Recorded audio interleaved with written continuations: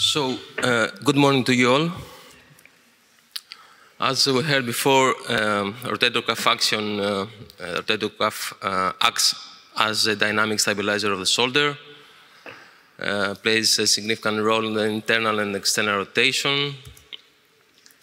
From a functional point of view, uh, rotator cuff tears, uh, we can say that lower than demands and the functional reserves of the shoulder. And uh, when the functional demands of the patient exceeds the reserves, then we have uh, clinical uh, symptoms that are uh, produced. The philosophy of the treatment is always to find the balance between the functional demands of the patient and the capacity of the remaining cuff. So we can repair the cuff, we can lower the functional demands of the patient, and we can increase the functional capacity of the remaining cuff with physiotherapy, partial repair, and space balloon, capsular reconstruction, and uh, all, uh, all this uh, that we can do in the surgery, and maybe some tenotomy and some bursectomy. And of course, we can have the tendon transfers. Our first option is always to um, repair the cuff. Uh, we, can, uh, we must uh, decide when to stabilize the edges, we, we, must have a strong fixation and always repair without uh, tension. Uh, Cofield uh, said that um, it's in his classification that small tears are one centimeter, medium one to three, large three to five, and massive cuff tears are more than five centimeters. Here we can see the different types of the rotator cuff tears, crescent, L, reverse L, and etc. So sometimes it's uh, difficult to repair the cuff, and when this is not possible, what we must do? We can we suspect that the difficult uh, that the I'm sorry that the repair, repair rotator cuff is uh, um, difficult to repair when we have a chronicity of the tear a fatty infiltration of um, uh, the supraspinatus, maybe Goutallier 3 to 4 or more, a very retracted um, cuff, stage 3, tendons are in the glenoid. When we have uh, proximal migration of the humeral head, the acromiohumeral uh, distance is less than 2 millimeters. And of course, we have uh, rotator cuff arthropathy.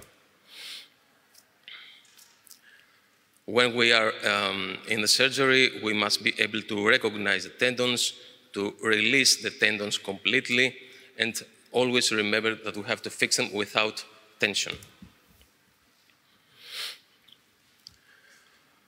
There are many landmarks that um, uh, we must identify in the surgery. This is the anterolateral corner of the acromion, the spine of the scapula, the undersurface of the acromion, and the lateral border of the tuberosity. Here is that when we are uh, in the surgery with the electrocautery, we try to take out the remnants of the supraspinatus.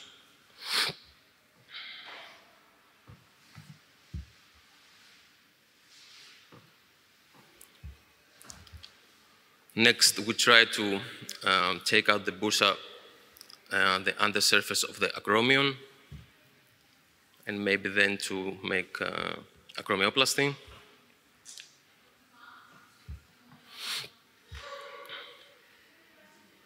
And of course, take out the bursa in the scapular spine.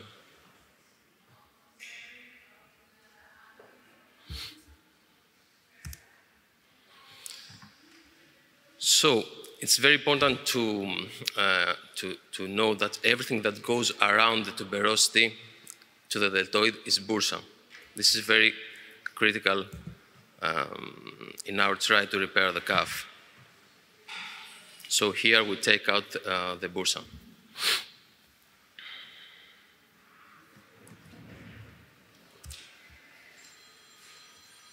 The release um, uh, that went into the tendons are from the coracoid, the acromion, and the glenoid. And then we have to decide what to do complete repair, partial repair, or just a simple debridement and uh, biceps tenotomy. Here we can see uh, the first image that uh, uh have a very retracted super, supraspinatus tear. on the second um, uh, icon, we can see that we will do a side-to-side -side repair. And on the third icon, a partial repair. There are many papers that say that even um, uh, with a partial repair, um, we can have a better outcome. We can elevate the constant score, the ASA score, and um, the patient will have uh, somehow painless um, uh, range of motion or with a minimal pain. Our standard arthroscopic techniques are double or single row techniques, um, -side to side suture, anterior, posterior slide.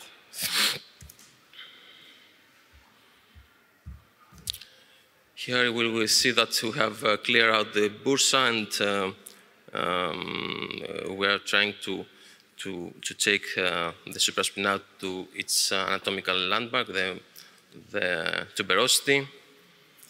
We put some anchors.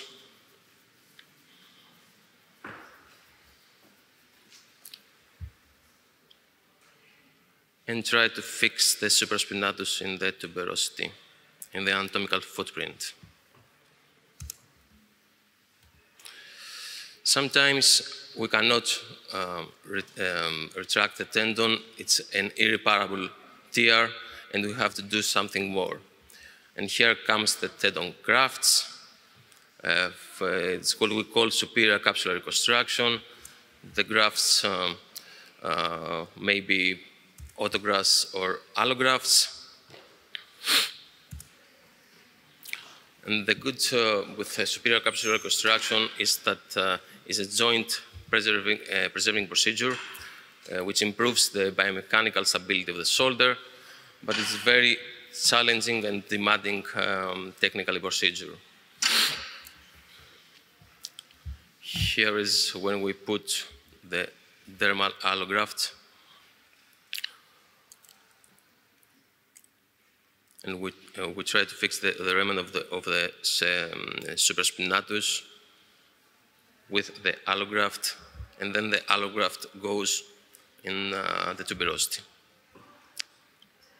All these are with sutures and with angles. And here we, um, we try to fix also uh, the posterior side of the, uh, of the graft with the infraspinatus. Another option for reparable tears is uh, the subacromial spacer, the in-space balloon. So the goal, the goal uh, with the balloon is to achieve a painless range of motion uh, and to avoid friction between the tendons and the humeral head and the acromion. Uh, the balloon provides um, sufficient level and tension to the deltoid, and we can produce forward flexion abduction uh, better uh, in the early phase of rehabilitation. Here's with a graph how the balloons work. And we can see that uh, uh, the person goes down in the distribution within the subacromial side of the rotator cuff after we repair it. Balloon is a very easy technique and uh, have uh, promising initial results. So when we use uh, uh, the subacromial spacer, the balloon, our philosophy is uh, that we must have a patient uh, that the pain is the main complaint.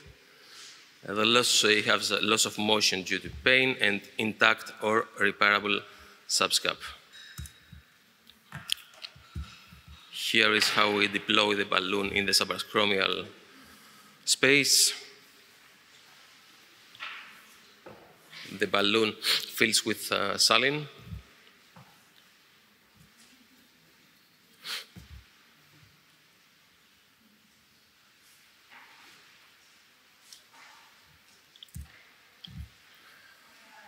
Uh, another option, the last option is the tendon transfer. The tendon transfer um, is for uh, posterior superior tears and the under superior tears. Uh, latissimus dorsi transfer, uh, lower trapezius transfer, and pectoralis major transfer are the most common. So the goal here is uh, not to cover full the humeral head, but to create a balanced force uh, between the anterior cuff, the subscap, and the tendon. And uh, in this way, we center the head uh, in the glenoid. And we uh, suggest tendon transfers in younger patients when the loss of power is the main complaint and not the pain. And it's very technically demanding procedures. So that's it. Thank you very much and hope to see you next year.